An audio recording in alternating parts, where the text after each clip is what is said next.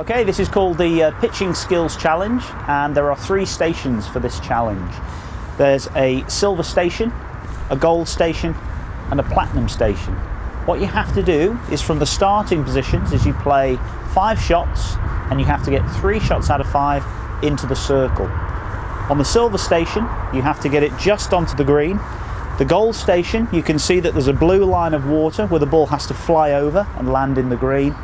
And then on the platinum station, the water is still there. The ball has to land over the water, but if it runs too far through our yellow line, our bunker, then it can't be counted.